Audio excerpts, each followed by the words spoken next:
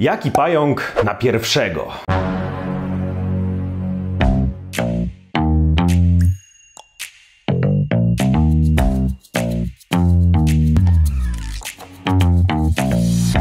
Pytania tego typu, czyli jakiego kupić pierwszego pająka, czy jaki pająk jest najlepszy na pierwszego, słyszę regularnie i zarówno na Facebooku, jak i w komentarzach pod filmami. I niestety, ale jedyna poprawna odpowiedź na to pytanie to jest nie wiem. Rozumu troszkę jak było było. Nie wiem, ponieważ samo pytanie jest z natury błędnie skonstruowane. Nie istnieje coś takiego jak najlepszy pająk na pierwszego, najlepszy pająk na drugiego, trzeciego, ósmego, piętnastego. Nie ma czegoś takiego. Każda osoba jest inna, każda osoba inaczej sobie poradzi z pająkami i jeżeli ktoś ma naprawdę olej w głowie, to sobie poradzi tak naprawdę z każdym gatunkiem. E, Z tym, że no wiadomo, są tam pewne zalecenia, żeby nie kupować jadusów, żeby nie kupować, nie wiem, bardzo silnie jadowitych, bardzo agresywnych, powiedzmy agresywnych pajączków na początek i skupić się na tym, co jest takie bardziej do życia. W dzisiejszym filmie pokażę Wam kilka, moim zdaniem, fantastycznych gatunków pająków, które możecie sobie wybrać. Nie są jakieś bardzo drogie, a prezentują się naprawdę fantastycznie.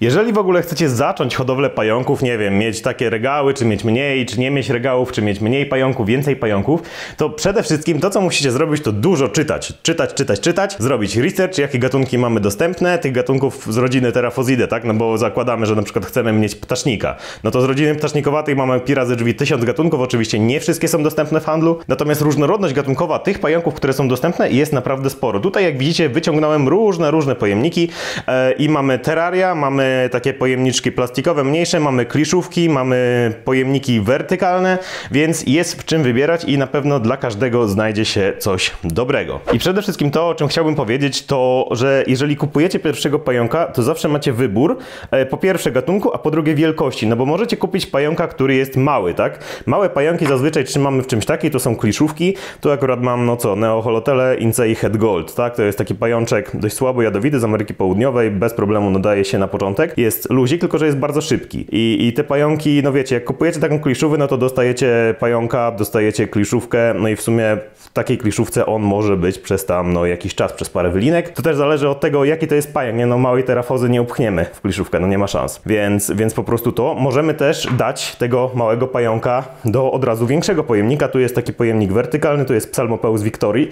e, którego swego czasu dostałem od Przemka z kanału Arachnohobia, za którego bardzo dziękuję i stara etykietka Nandu Chromatus. No i widzicie, ten pajączek jest też mały, no i on gdzieś tu jest, o jest. Tutaj widzicie go, siedzi, siedzi przy wieczku.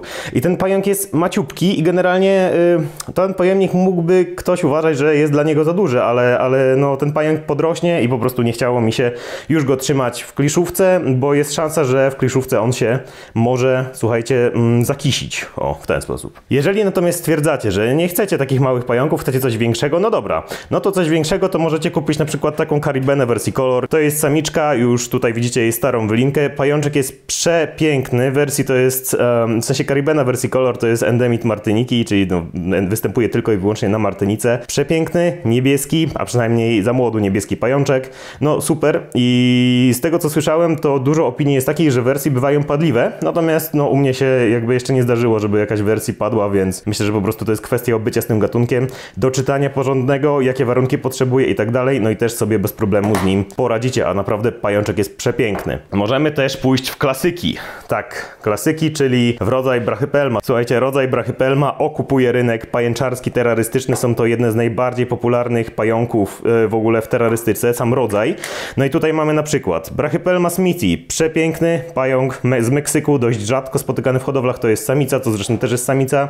Tutaj mamy Brachypelma z kolei Baumgarteni, tak? Czyli są to dwa dość rzadkie gatunki, natomiast wydaje mi się, że jeżeli mm, już kupujemy Brachypelmę, to oczywiście możemy iść w klasyka, typu, typu Brachypelma hamori. Ja mam swoją Brachypelma hamori, o tam siedzi, nie wyciągałem jej. Możemy iść w inny klasyk, czyli możemy iść w Brachypelma auratum, tutaj siedzi. Piękna samica Brachypelma auratum. To są trochę popularniejsze pająki, nie? No ale skoro chcemy na przykład mieć coś rzadszego, no to super, no to pomyślmy sobie nad Brachypelma baumgarteni, która wcale nie jest popularnym bardzo gatunkiem. Smithy tak samo.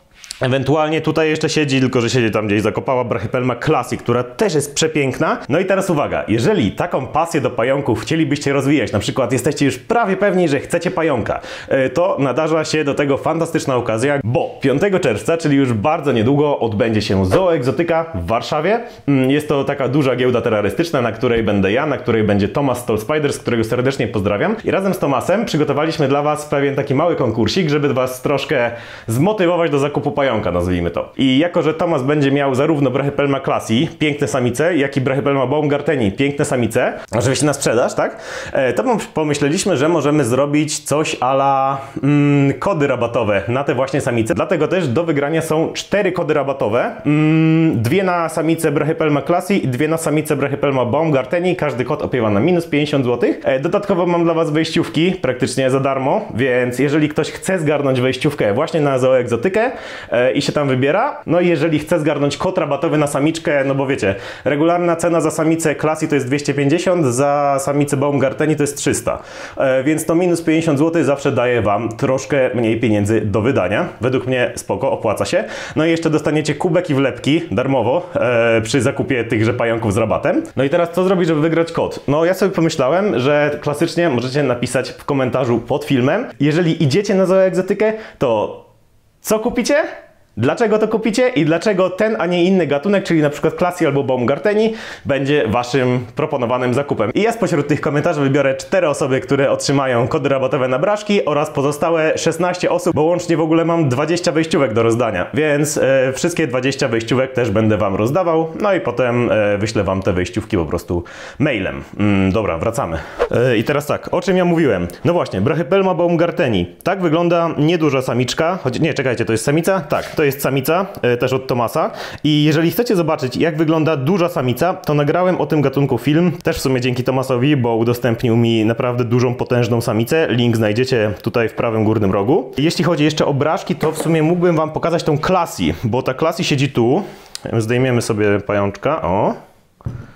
Dobra, udało się ją wygonić. I teraz słuchajcie, y, braszki generalnie uchodzą za takie pająki, które są dość spokojne, no słabo jadowite, wiadomo, są to takie pajączki y, jakby mm, nominowane dla osób początkujących, serio. Ej, no nie chowaj się, no weź.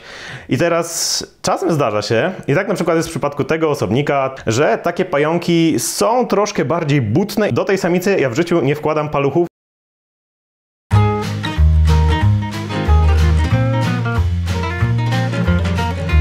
jakbym teraz nam włożył palucha, to by mnie użarła. E, Ona jest po prostu bardzo, bardzo defensywna, bardzo nie lubi być tykana, więc jest to przykład tego, że każdy pająk jakby ma swój e, humorek, mimo tego, że cały gatunek uznawany jest za powiedzmy taki potulny i tak dalej. I może właśnie to takie zachowanie udałoby mi się pokazać na podstawie Brachypelma auratum.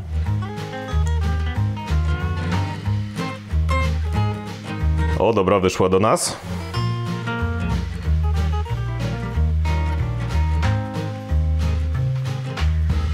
O nie, dobra, dzisiaj jest spokojna, no ale generalnie wiecie, ten pająk, serio, jest tak strasznie mm, zły czasami, że po prostu nie wiem, czy ma te dni, czy, czy, czy o co chodzi. W każdym razie ta samiczka bywa naprawdę nieprzyjemna w obcowaniu. A propos nieprzyjemnych pająków, no to jeżeli e, nie chcecie takiego nudziarza typu bracha, chociaż tu są dwa przykłady, że brachy to też nie są nudziarze, no to możecie sobie wziąć coś ala nandu. I tutaj mam na przykład nandu chromatus, tu jest samiec. E, to jest też fajny pająk na początek, bo daje troszkę więcej, nazwijmy to, emocji niż takie braszki.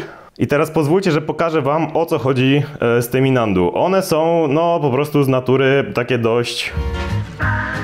O właśnie, takie o. Nandu zdecydowanie nie dadzą sobie w kaszę dmuchać, widzicie? Już się postawił, już jest dramat, więc generalnie tych pająków nie zalecam denerwować, to są e, małe nerwusy. Natomiast sam pająk jest piękny, ja tam gdzieś mam, tam siedzi duża samica e, o imieniu Cappuccina, która też jest piękna, jest trochę przedwylinkowa.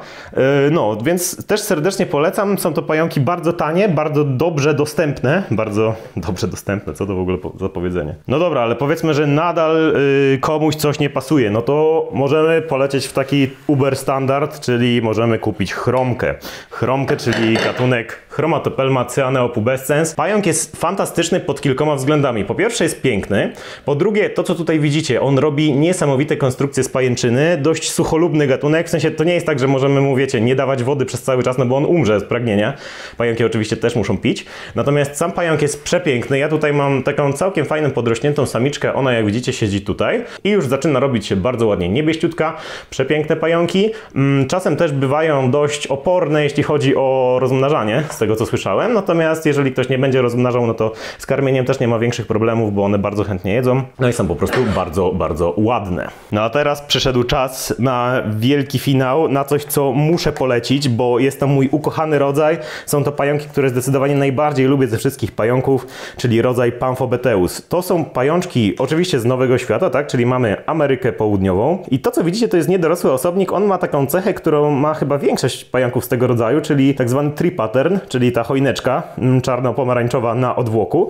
I słuchajcie, ten pająk może nie być jakiś piękny, może nie być, nie wiem, nie wiadomo jak ładny. I teraz to, co jest fantastyczne u tych pająków i to, co tak naprawdę najbardziej mi się u nich podoba, jest to, że niezależnie czy kupię samca czy samicę, i tak będę zadowolony. Dlaczego? No bo tak, samica rośnie duża, masywniejsza niż samiec, troszkę mniej kolorowa, natomiast jest to samica, więc jest cenniejsza, więc cieszy. Ale jeżeli wyrośnie z tego samiec, to dam Wam teraz kilka przykładów tego, jak wyglądają samce pająków z rodzaju Pamphobeteus, no i to jest absolutna petarda.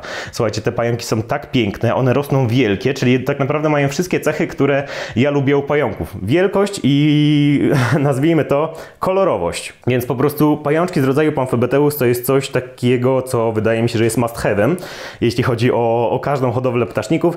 No wiadomo, że niektórzy lubią Azję, niektórzy lubią Afrykę, czyli pajączki z Azji i z Afryki. No ja akurat gustuję w Ameryce Południowej i, i po prostu tak jest. Zresztą nawet jakbym chciał hodować Afrykę i, i Azję, to po prostu nie wystarczyłoby mi no, miejsca na, na półkach, tak? Bo i tak już tych pająków jest tutaj zatrważająco dużo.